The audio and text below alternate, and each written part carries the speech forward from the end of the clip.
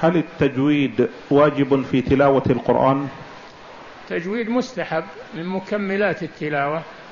الواجب أن لا تلحن لحنا أن لا تلحن لحنا إعرابيا برفع المنصوب أو أو جر المنصوب أو خفض المرفوع أو غير ذلك. لا تخالف النحو.